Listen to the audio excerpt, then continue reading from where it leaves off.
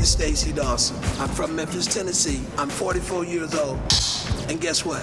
I have the X Factor.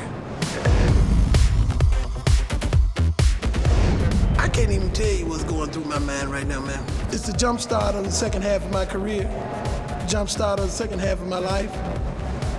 And I, am glad you guys gave me an opportunity like this.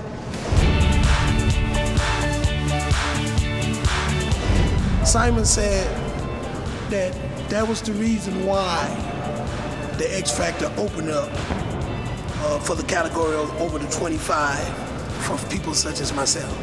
He said those words, and you just don't know how that make me feel. This is the biggie. Just tell Justin Timberlake I'm coming at him.